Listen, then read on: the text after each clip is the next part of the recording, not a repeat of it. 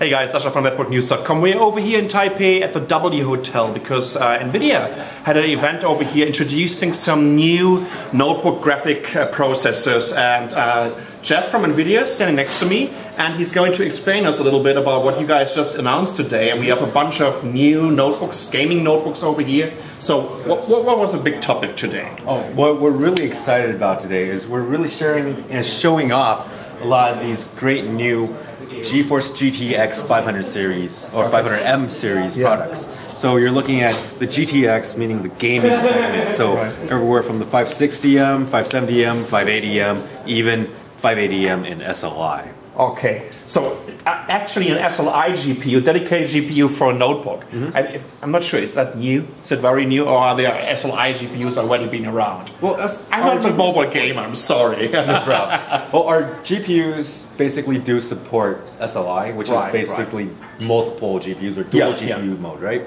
So um, it's just the matter of does it make sense to put it in a notebook? Does it make sense to put it in like the Uber fastest gaming notebook. Right, right. And if our customers or if the end users actually want this type of stuff. So right. you're seeing that people are really pushing the limits of technology and performance, trying to you know really get the most out of a mobile platform. Talking about limits, talking about performance, let's take a quick look at some platforms. Over here we have the Asus G74 with your GTX 560M. Is this the entry level uh, uh, GPU? Uh, no, it's it's not uh, entry level. It's um, entry level. We've got our GeForce GT. Right, series, right, right. Like the 520, 540. Right. In terms of GTX. Yes, GTX, you're looking at the 560 all the way up to the 580. Okay. Yeah. So what you can see over here is a 3D Street Fighter version. Well, obviously you just can't experience it right now, but I tell you one thing, I have the glasses on and it works and it looks pretty cool. so over here we also have another Asus, it's a G53 which was uh, running StarCraft 2 before. Um, yeah, went into suspend mode. Okay, you know what? Oh, someone unplugged the.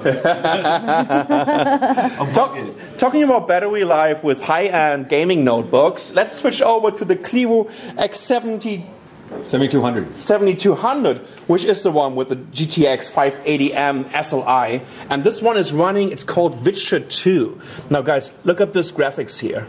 Isn't that amazing? Really all the shades. Full HD and crank everything on. So that's 1080p, uh, full details, and uh, I don't even want to know what the power consumption of this little device is, but it looks absolutely brilliant. You know, all the particles here Look at this.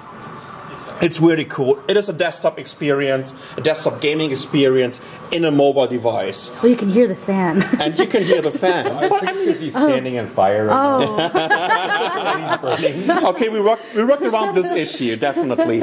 Over here we have another Clevo. It's a P150HM, with come with a, which come with a GTX 580M, not the SLI version, but this one is running now, um, that's Crysis 2, 2, right? Crysis 2 and DX11 in all its full glory. And the other thing is, you'll notice that this for 580M is actually pretty thin.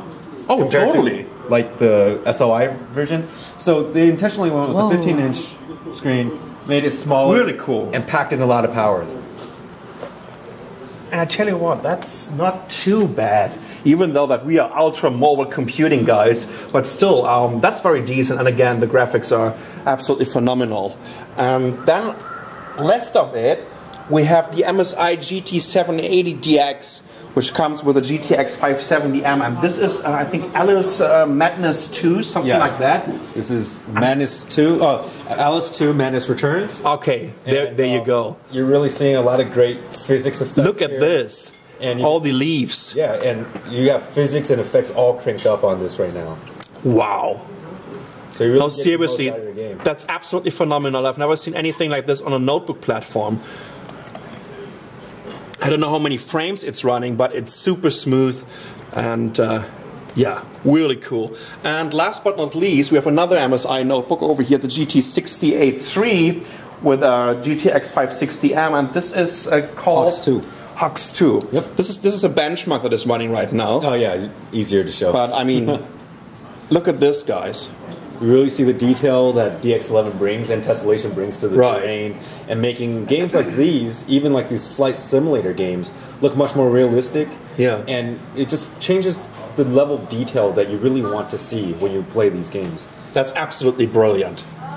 This was actually the game you guys showed at your GPU conference in the uh, in the Oh, keynote. oh, yeah, yeah, in last, last keynote, year. yeah. Yeah, yeah, yeah, I remember Yeah. Last time I believe we actually showed it side by side so that you Yeah. can see Yeah. uh, without tessellation and without a GeForce GPU, you get like a you know really flat terrain, Mm-hmm. um, just big ass um, polygons that you're you know probably more used to in norm like older games. Right, But now right. with the X11 tessellation, you're really able to you know get all this detail in there, making the world come um, more alive. Oh, wait, look It at looks this. amazing.